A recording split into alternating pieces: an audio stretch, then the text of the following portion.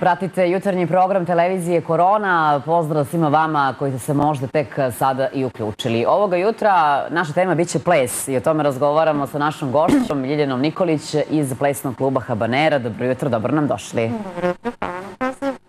E, prošli put kada smo se vidjeli razgovarale, najavile smo Međunarodni festival plesa. To je nešto po čemu je naš grad definitivno prepoznatljiv. Krajem juna, dakle, svake godine, tako je bilo i ove. Eh, kako ste vi zadovoljni iz plesnog kluba Habanera kao glavni organizator ovog festivala? Kako je sve proteklo? Pa, mogu da izrazim jedno veliko zadovoljstvo. Osmu godinu za redom smo organizovali eh, Mediteranski festival plesa koji je od samog početka eh, inače imao međunarodni karakter. Mhm. Takmičarski također karakter.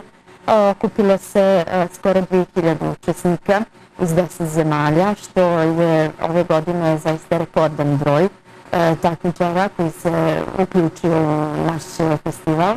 Tako da smo zaista zadovoljni dva dana plesa e, od jutra do mraka, što bi rekli, ali smo i ove godine imali jednu e, novinu, a to je gala večer koja se održala u nedelju, u nedelju večer. U stvari, Mediteranski festival plesa, da napomenem da se po tradiciji održava zadnji vikend juna mjeseca u sportskoj dvorani Topolica uz e, zaista predivnu scenografiju i divan ambijent, a naravno to u potpune e, plesači sa njihovim divnim koreografijama. Mhm.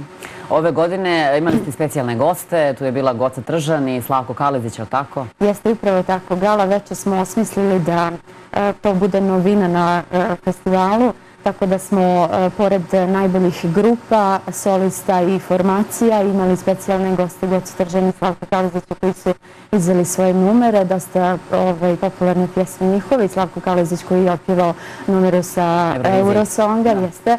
Tako da smo, e, to je, e, da kažem, večerni program koji je zaista e, imao zaista veliku pažnju, veliki broj publike i naravno sve je proteklo ako najboljem ambijentu, mhm. najboljem ovaj, redu.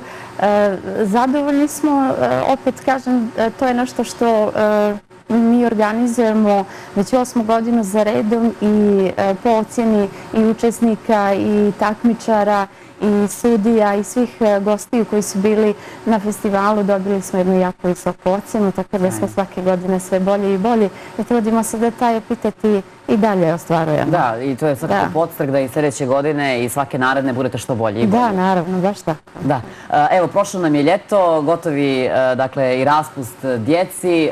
Kako je ljeto bilo za plesni klub Habanera? Bilo vremena za odmor? Pa bilo je. Upravo posle e, e, Mediteranskog festivala plesa imali smo e, jednomjesečni odmor. Već smo sredinom avgusta počeli pripreme jer smo krajem avgusta imali nastup sa mažaretkama. Otvarali smo manifestaciju Spičansko večer. Bila je jedna jako lijepa manifestacija. Već nakon toga smo počeli odmah sa pripremama za školu plesa, sa takmičarima, kondicione treninge. Tako da smo već krajem avgusta počeli radno, što bi rekli. I počeo je upis. Jeste, upravo tako. E, sa starim članovima, mhm. Plesni klub Habanera je počeo sa radom. E, treninzi se održavaju u Domu kulture. E, također, eto, moram istaći da je upis još uvijek u toku i svi naravno zainteresovani mogu se javiti. E, prvo da e, e, omogućavamo da da probaju jedan čas, da vide šta se to plesna škola nudi, koji su to plesni stilovi i plesne discipline, a uzrast je od 4,5, odnosno od 5 godina pa do 17, 18, što se tiče omladine, a naravno postoji i ples za odrasle i zumba fitness za, da kažem, rekreativni mhm. dio plesa. E, šta je to što eto, plesni klub Habanera nudi što tiče tih plesnih stilova? Šta dakle djeca koja žele da upišu u plesnu školu mogu da nauče? E, postoji, ja kažem, osnovni taj, e, osnovna oblast plesa jesu standardni latinoamerički mhm. plesovi. E, nakon toga e, ima e, modern ples, tu se podrazumijeva hip-hop i street dance.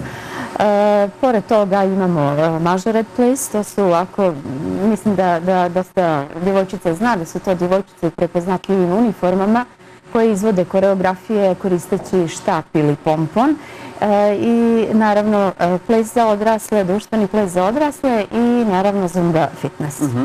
Evo, pomenuli smo taj ples za odrasle. Koliko oni učestvuju i koji je broj ljudi koji se prijavljuju? Uglavnom, to je planirano za odrasle osobe, mhm. za mame, za tate. Tako da mi smo prošle godine imali jednu akciju Mama, tata za pleše i ti, tako da je to jako interesantno. Mislim da to ćemo krenuti i ove godine. Mhm. U pitanju je ples za odrasle gdje oni uče osnovne korake E, recimo e, engleskog valcera, foxtrota, disko kasla, ono što e, mogu iskoristiti na zabavama, svadbama i tako dalje. Upravo je to jedna divna akcija koju pravimo. Uglavnom to bude ispred par mjeseci pred novu godinu, jer to su mhm. već počinju slavlja, tako da se oni polako pripreme za taj dio zabave. Jel plešu tate?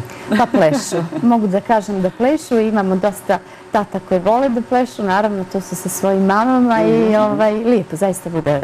A kakva je situacija sa dječacima konkretno? Da li se dječaci prijavljuju na ples? Uvijek je tu naravno više djevojčica, ali... Jeste, pa uvijek e, u klubu naravno da ima mnogo više djevojčica mhm. nego dječaka, ali imamo dječaka. U klubu imamo e, sedam dječaka koji su dosta aktivni. E, u pitanju su dječaci koji plešu i standardni latinoameričke plesove sa svojim e, partnericama, ali i dječake koji se bave hip-hopom. Mhm. Hip-hop je inače dosta zanimljiv i dosta karakterističan ples, naročito za dječake. Oni vole taj ritam, vole te oštre, brze pokrete, i e, njima se to i tekako sviđa. Međutim, e, prednjače djevojčice. One su mnogo aktivne. E, imamo tu naravno djevojčice koje plešu samo latino formaciju, ali imamo i djevojčice koje i tekako dobro plešu hip-hop. Tako da ima tu zaista različiti spektar tih plesnih disciplina koje radimo i zaista su djeca u Maltene u svim tim disciplinama jako uspješne. Koliko su naša djeca, barska djeca, talentovana za ples? Pa i tekako su talentovane, naročito mlađa. Mi smo, ja upravo sam juče imala čas gdje su mi bila, bili članovi uzrasta 5 i 6 godina i izuzetno sam zadovoljna. Prvo što su tako pažljivi mhm.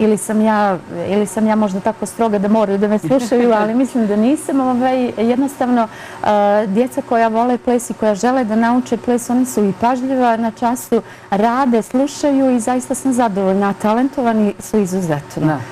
Ono što očekuje u narednom periodu sada jeste, kada već pominjemo hip-hop i seminar, je li tako? Pa jeste, danas nam već dolaze gosti iz Makedonije, održava se seminar hip-hopa za takmičarske grupe u kategoriji djece i juniora. Seminar počinje već e, večeras od 18 časova, e, tako da ćemo imati e, jedan intenzivan e, trening e, večeras, ali ćemo nastaviti to i ovog vikenda, tačnije sutra i preksutra, i ujutro i popodne se održavaju časovi kako bi se e, grupe pripremili za e, predstojeće takmičenje. Mi planiramo da učestvujemo na svjetsko prvenstvo u hip-hopu koje se održava u Kopenhagenu e, krajem oktobra mjeseca, a nakon toga nas očekuju mnoga druga takmičenja, tako da želimo da te grupe koje su u hip-hopu pripremimo na najbolji mhm. način da budu spremni za sezonu. Dakle, to je kad je konkretno vezano za hip-hop, što vas još očekuje ovako do kraja godine? Pa do kraja godine već imamo u planu i već imamo pristigle raspise što se tiče takmičenja u regionu i kod nas. E, novembar mjesec nam je e, maltene svaki vikend e, rezervisan za takmičenje, pa je to prvi vikend novembra takmičenje u Pragu, drugi vikend novembra takmičenje u Skoplju, treći vikend u Rumuniji, početak Početak eh, decembra mjeseca će se održati državno prvenstvo u Podgorici, eh, zatim 16. 17. decembra svjetsko prvenstvo u latinoplesovima u Atini, gdje se također pripremamo da nastupamo sa našim latino grupama. I naravno, već krajem decembra naš tradicionalni novogodišnji dječji koncert koji organizujemo u Domu kulture. Znači, eto, to su otprilike ta neka dešavanja, jedno pet ili šest takmičenja koje mhm. već imamo ovaj, u narodnom periodu. To je dosta takmičenja i treba puno pripreme oko svega toga. Pored vas, ko još radi sa e, plesačima? Tu smo, e, ja radim sa plesnim formacijama, uglavnom latino i sa mlađom populacijom. Dejan je tu koji radi ovaj, sa hip-hoperima i sa plesnim parovima, tako da smo uglavnom ja i on e, mhm. ovaj, zaduženi za za treninge i strogoću. Svaka čast, ali ono što je također bitno i pomenuti, eto, pored toga što djeca uče ples uh, u plesnoj školi Kabanera, oni putuju dosta. I to je jedno iskustvo koje za njih ne procijenjamo, prepostavljam. Jako, jako veliko iskustvo i jako lijep događaj i uh, zaista to je nešto što Ja kažem, to su te vrline koje ples nosi sa mhm. sobom, a to je druženje prije svega. Druženje, socijalizacija djece, učenje plesa, zatim ta takmičenja i putovanja koje su zaista neprocenjivi, jer pored e, i druženja i plesa djeca obilaze e, razne gradove, razne zemlje mhm. i to im zaista jedno veliko iskustvo u životu. E, ja moram isteći da smo mi zaista vezani i mi volimo da putujemo van granica Crne Gore. Mi smo klub koji se vezuje u svojoj zemlji i da smo tu najbolji jer želimo da svoje snage i svoj kvalitet isprobamo i van granica mhm. Crne Gore i da zaista na pravi način i predstavimo i svoj klub i svoj grada i svoju državu na kraju krajeva, znači da to bude zaista jedna lijepa prezentacija. A ja mislim da eh, je pored, eh, kažem, sporta i umjetnosti, jer ja volim da kažem da je play sport više nego umjetnost, ovaj, da nema bolje prezentacije od toga. A djece, naravno, eh, uživaju u svim tim putovanjima i mi smo zaista ovaj, e, ponosni na njih jer oni su i tekako, pored toga što su dobri plesači, su zetno disciplinovana djeca i to je nešto neverovatno. Ja volim da kažem, tu djecu volim na kraj svijeta mogu da ga vodim jer sam sigurna u njih da će me slušati, da će biti pažljivi, da će biti dobri i da će dati sve od sebe da na podijumu pokažu pravu igru. To je ono što sam najviše ponosna na njih. Pored e, igre, pored dakle, plesa, plesnih koraka, ono što nekako još e, taj ples čini ljepšim jesu oni kostimi koje nose prije svega djevojčice, naravno i dječaci sa onim onako leptir mašnom, onako elegantni. E, kako to dogovarate? Da li djeca imaju svoje ideje pa onako s roditeljima to realizuju ili naravno učestvujete vi u realizaciji toga svega s nekim vašim idejama? Naravno, kostimi se uglavnom osmišljavaju u većem dijelu slučaja osmišljavamo na osnovu koreografiju koju izvodimo. Ja moram istaći eto da smo recimo za potrebe našeg nastupa na festivalu i takmičenja napravili kostime za mlađe grupe, recimo da ovaj, mi to tako zovemo.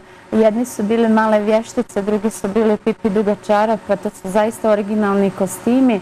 Zatim dirigenti, eh, Alisa u zemlji čuda, to su naravno kostimi koje mi prilagodimo koreografiji mhm. i temi koju oni ovaj, zajedno izvode.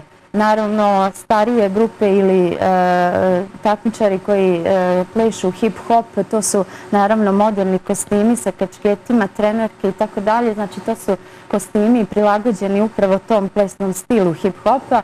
E, dok recimo plesni parovi i latino formacije imaju zaista predivne kostime koji su opet, kažem, prilagođeni toj disciplini koju oni plešu i ovaj, zaista kad izađu na sceni ja sam izuzetno ponosna jer listaju zaista su lijepi, a inače e, e, sve to naravno radimo u dogovoru sa djecom, u dogovoru sa roditeljima, jer opet roditelji su ti koji nam pružaju najveću podršku, koji djeci obezbijede sve te kostime, plesne cipelice i e, opremu za ples koja im je tekako potrebna ako bi se kako bi se bavili e, e, ovim sportom na pravi način.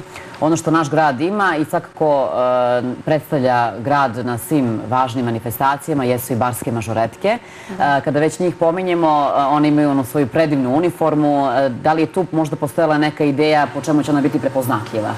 Da, baš tako. Ja sam se nekako vodila, nekako sam pratila zagrebačke mažoretkinje mhm. koje su postoje, ja mislim, već 20 godina, ali oni i dan danas imaju iste kostime i oni su izuzetno prepoznatljive gdje god se pojave. Ja sam tako htjela da prije 10 godina kada smo osnovali Garske mažoretke napravim kostime po kojima će one biti prepoznatljive. I evo nakon 10 godina ovaj, mažoretke su i dalje u tim kostimima. Naravno mi ih osvežimo sa nekim kreativnim lijepim detaljima cirkonima i tako dalje, ali su one, svaka grupa nosi svoju boju kostima, kadeti su ljubičaste, juniori imaju crvene kostime, seniorke imaju plave kostime sa, naravno to su sakoji, suknje, kapa, izuzetno su ovaj, prepoznatljive gdje god se pojavimo i to su zaista jedne divne djevojčice i djevojke koje zaista se odazovu svakom pozivu kada je u pitanju E, bilo e, da je svečano otvaranje ili bilo koji drugi događaj koji se održava u gradu, ali ne samo u gradu, već smo mi ovaj, bili, e, imali dosta poziva i da učestvujemo i van bara, tako da sam jako ponosna. Recimo prije E, par godina smo imali poziv da nastupamo na, e, u Tirani na njihovom festivalu plesa e, Kup Majke Tereze gdje je pratila državna televizija, sve to propratile na jedan zaista pardon, jedan zaista divan način, a, a, mažoretke su imale tu čas da one otvore to prvenstvo. Tako da mi je to zaista bilo jako lijepo. Naravno, tu su pozivi uh, Kotor, Budva, uh, Podgorica, tako da smo zaista zadovoljni. Uh, mažoretke su zaista uh, opravdale uh, svoje postojanje, mm-hmm. naravno. Da li važi upis i za mažoretke? Da, naravno, i za mažoretke upis je i dalje u toku uzrast od 7 do 17 godina. Sve djevojčice, djevojke mogu da se priključe i da se, da se priključe, kako ja volim da kažem, najljepšem timu u gradu. Uh mhm. -huh. Pa, potpuno ste u pravu kad to kažete. Dakle, da ponijemo još jednom ovako za kraj razgovora, upis u predstavnom klubu Habanera i dalje važi. Dakle, da. svi koji su zainteresovani, kome da se obrate, gdje da dođu u Dom kulture? Ili... Dom kulture radnim danima od 18 do 21 čas. Sjajno. Uh, Ljiljina, hvala puno na izdavno vremenu ovoga jutra i želimo puno uspjeha u daljem radu na svim ovim festivalima, da budete onako prije svega vi zadovoljni, pa se vidimo ponovo nekom drugom priliku. Hvala i vama na pozivu. Hvala puno. Kratka muzička pauza, a potom i uh, druge priče.